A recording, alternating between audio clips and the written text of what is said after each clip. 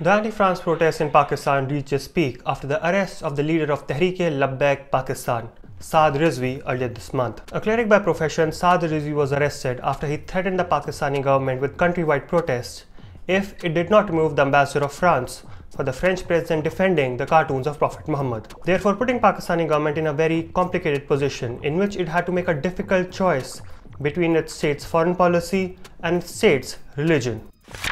The TLP has now called off its protests in exchange for a vote in Pakistan's National Assembly, that is, its parliament, regarding the French envoy.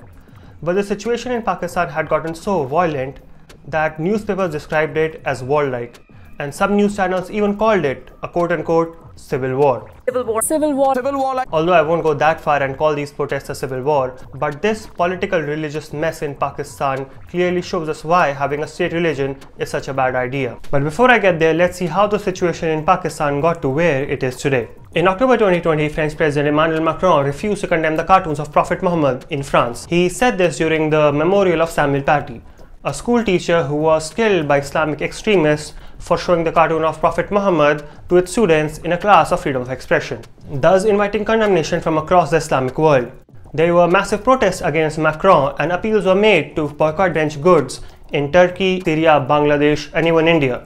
In Pakistan too, people came out on the streets in large numbers. And in solidarity with the protesters, the Pakistani parliament passed a resolution to recall its ambassador from France, only to realize later that they didn't have any ambassador in Paris. In November 2020, the TLP marched from Rawalpindi to Islamabad demanding the expulsion of French ambassador to Pakistan and breaking ties with France. But to understand this episode fully, we need to know a bit more about the TLP and its relationship with the Pakistani army.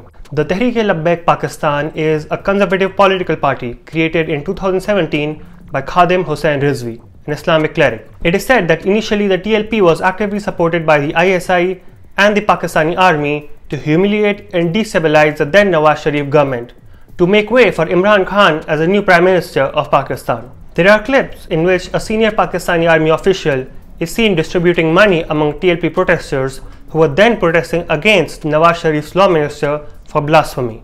Therefore, confirming Pakistan's Chief of the Army Staff Qamar Javed Bajwa's support the TLP as well as Imran Khan. But seven months after the election of Imran Khan as Pakistan's new Prime Minister, the TLP started another countrywide protest against the freeing of Asia Bibi, a Christian lady who was accused of blasphemy in 2010. During those protests, one of the TLP leaders made comments encouraging the Pakistani army to revolt against Bajwa. फौज के जितने मुसलमान जर्नैल हैं उनकी जिम्मेदारी है कि इन जर्नैलों के खिलाफ बगावत करते हैं now, the only comment which is worse than blaspheming Pakistan is a comment against the Pakistani army, and the TLP said the unspeakable. Now, the TLP leader that made those comments later apologized.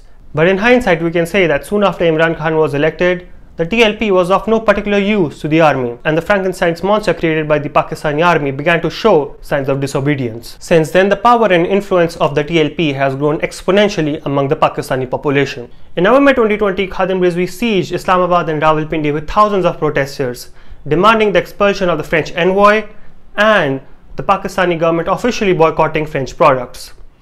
Imran Khan agreed to all of TLP's demand and promised that within three months he will take a decision regarding the French ambassador. However, three days after TLP's demands were accepted, its leader Khadim Hussain Rizvi died, allegedly due to COVID, and his son Saad Rizvi became the leader of Tehreek-e-Labbaik Pakistan. In February 2021, three months after the original agreement with Khadim Rizvi, the government of Pakistan made another agreement with Saad Rizvi and promised that the matter will be placed before the parliament before 20th April 2021. On 12th April, Saad Rizvi reminded the Imran Khan government of the upcoming deadline. Saad was arrested on the same day, causing violent protests across Pakistan.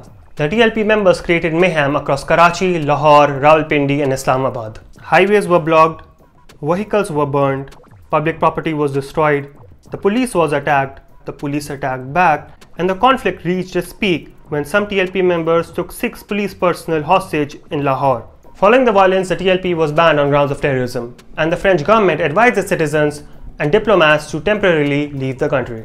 The TLP got massive support from the Pakistani population, who are genuinely angry at the French for insulting their prophet and diluting Islamic values in France. And they feel that expelling the French envoy is the least their government could do. Imran Khan in a televised statement tried to explain to its population that why expelling the French ambassador is such a bad idea. जब हम France के ambassador को वापस भेज के ताल्लुक तोड़ेंगे उनसे इसका मतलब कि यूरोपियन यूनियन से हम ताल्लुक तोड़ेंगे इसका मतलब क्या कि जो हमारी आधी टेक्सटाइल की एक्सपोर्ट्स हैं वो यूरोपियन यूनियन में जाती है तो इसका मतलब आधी हमारी टेक्सटाइल एक्सपोर्ट्स वहीं ख़त्म हो गई इसका मतलब बेरोजगारी However, the very next day, the Imran Khan government took a complete U-turn and gave in to the demands of the now declared terrorist organization. Pakistan's Interior Minister Sheikh Rashid announced that they have successfully negotiated with the now banned TLP and agreed to put the resolution regarding the French ambassador to vote on 20th April. They also agreed to free the 600 arrested TLP members, in exchange for which the TLP stopped its protest. Although the voting on TLP's demands has been postponed twice now, experts believe that if the resolution was put to vote, it would have surely been passed because the Pakistani MPs, regardless of their political parties, have no choice but to condemn any insult to the prophet of the state's religion. This entire episode had put the Pakistani leadership in a very complicated position, where if they agree to implement TLP's demands, they lose international trade and credibility. And if they don't, they lose power domestically. And this is why having a state religion, especially for a democracy, is such a bad idea. For starters, there is a fundamental difference between religion and statecraft that makes them incompatible with each other. One of the primary aims of religion is to instill good behavior and moral values among people. Values like thou shalt not steal or love thy neighbor, so that there is harmony in the society. Statecraft, on the other hand, is about survival. Survival of the state. And whenever things come down to human survival, God, along with all its moral values and ideals, disappears. Pakistan is an Islamic democracy, and unlike its neighbor Iran, where Islam was imposed upon its citizens, the people of Pakistan themselves chose an Islamic country for themselves. As a result, the people of Pakistan expect and demand its government to uphold Islamic values, and therefore it is understandable for them to hold their leaders accountable if they do not take any action against the French for insulting the prophet of the state's religion. However, leaders in Pakistan, both elected and selected, know better. They know that the world and even Pakistan does not run on Islamic values and therefore they will have to trade with the French if they want their fragile economy to survive. Let me give you another example for this. Recently, the UK's parliament called out on China for the genocide of Uyghur Muslims. I'm sure that the Pakistani leaders are really angry on China as well, but they can't say anything because they know the survival of Pakistan depends on China. Therefore, the best case scenario for any country is to have no state religion. It keeps things simple and allows a country to take decisions on what she thinks is best for herself. And if a country has a state religion, such as Saudi Arabia or England, in that case, it is important for the state to be stronger than the religion so that it can take effective decisions. In European countries such as the UK or Greece, where even though state has a religion, i.e. Christianity, the religion there is weak because people of these countries are either secular or not that religious therefore allowing the governments of these countries to freely take decisions. On the other hand, in Arab countries where people are really religious, the governments are very strong, dictatorships essentially. And therefore, because of being a dictatorship, an Islamic country like UAE can allow alcohol in its bars to promote business and tourism in its country.